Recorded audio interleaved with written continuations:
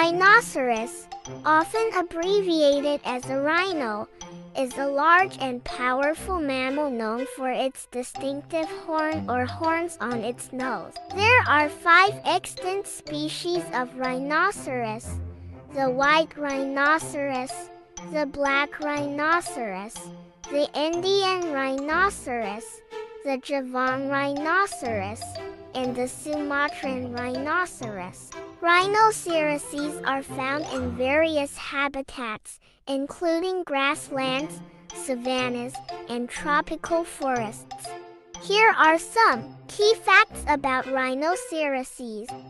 Number 1. Size and appearance. Rhinoceroses are generally massive animals, with adult individuals weighing between 1,000 and 3,000 kilograms, 2,200 to 6,000